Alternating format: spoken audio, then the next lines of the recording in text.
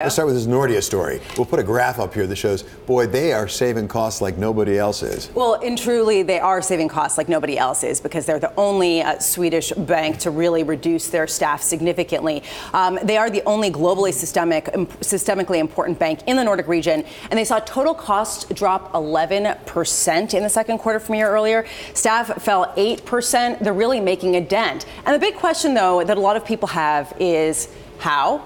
Where are they investing?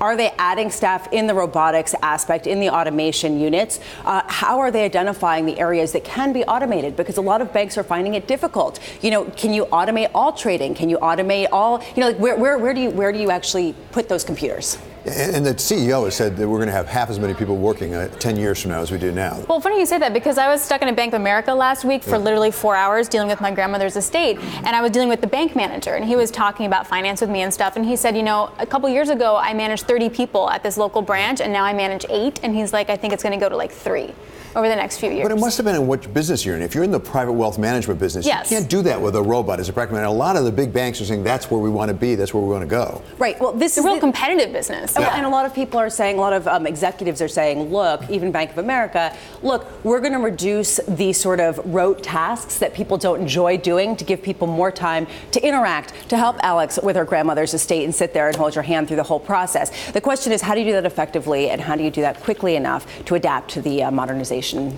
frankly? frankly, of all industries.